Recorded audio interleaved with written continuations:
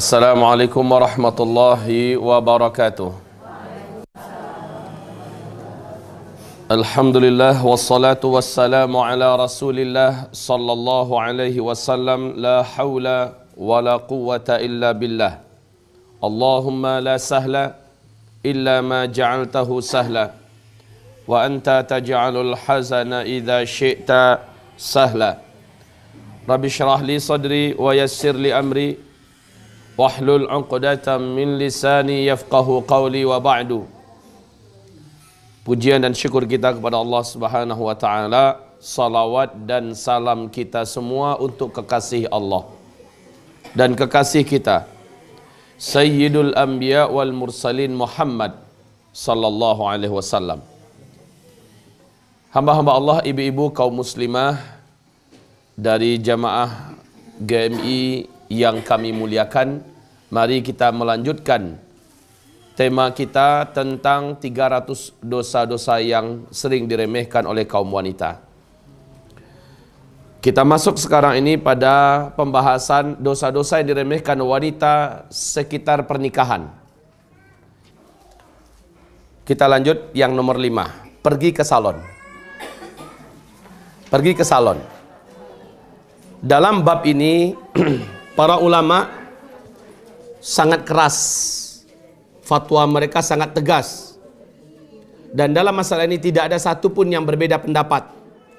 Haramnya pergi ke salon untuk zaman sekarang karena di zaman Islam bahkan dalam pembahasan Islam ini tidak ada. Profesi sebagai seorang pekerja di salon juga adalah profesi yang haram. Bagaimana tidak? Rata-rata yang di salon adalah kaum lelaki yang bekerja di salon. Kalaupun ada kaum wanita, akan ada aktivitas-aktivitas di dalamnya yang diharamkan dalam Islam. Mencabut alis, menggunting, menyambung rambut, uh, apa? Itu adalah termasuk memberikan make up, lipstick segala macam, menyentuh bagian-bagian aurat wanita dan sebagainya. Kita sudah uraikan terlebih dahulu sebelumnya. Ibu-ibu yang kami muliakan, ma'adzanallah kalau hanya sebatas motong rambut, pergilah ke salon muslimah untuk motong rambut. Tapi tidak sampai ke tingkat massage. Di mana nanti akan mengurut payudara, mengurut pinggul, mengurut paha, segala macamnya. Yang semua adalah aurat. Mati saja orang, orang udah mati nih, perempuan, jadi mayat. Boleh enggak wanita lain menyentuh langsung dengan telapak tangannya? Harus pakai bungkus kan? Dan auratnya tetap tertutup kan? Bagaimana orang masih hidup? Jelas sekali ini dilarang.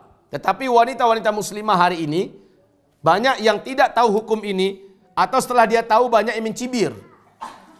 Salah satu di antara kenapa banyak wanita ahli neraka, penghuni ahli neraka, karena mereka banyak sekali melanggar rambu-rambu syariat ini.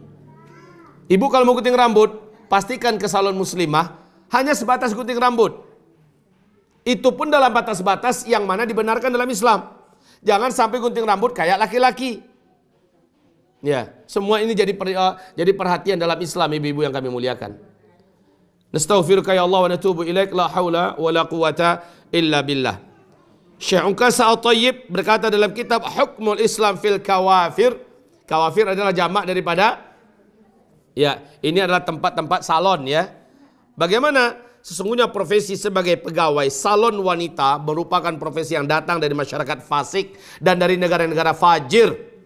Profesi tersebut tidak pernah dikenal dalam masyarakat Islam yang merupakan sebuah profesi yang diharamkan dalam syar'i. Jelas?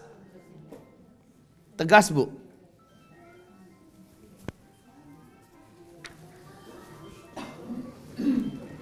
Ada pertanyaan? Ibu, kalau ibu ingin berpenampilan kelihatan bersih, tidak apa-apa. Tapi kalau ibu ingin kelihatan cantik dan menggiurkan di luar sana, ibu bermaksiat kepada Allah Subhanahu wa taala. Perlu kita timbang, tujuannya apa dulu? Kalau kelihatannya agar cantik dan menarik, jelas ini kita menyebar aroma biologis dan aroma seksual. Ini jelas haram. Tapi kalau niat ibu adalah supaya kelihatan bersih, ya, muslim itu adalah bersih, maka tafadhol Ibu sekarang niatnya apa? Dari niat itu nanti untuk menilai orang. Maaf nih, rata-rata orang kalau pakai bermakeup biar kelihatan cantik dan menarik kan? Dan ini jelas yang dia maksud adalah laki-laki atau orang umum di luar sana melihatnya, de, de, kan begitu kan? De, kau ini udah nggak? Rancak aja berjalan. Kalau tahu rancak tutui rancak tu, itu yang malah syar'i, bukan malah dipamer-pamerkan rancak tu. Ya. Ada lagi pertanyaan yang lain? Ya. Bau rui, awak tak kili. Ketika memang dalam bab berobat, apalagi wanita yang mengerjakannya ya boleh.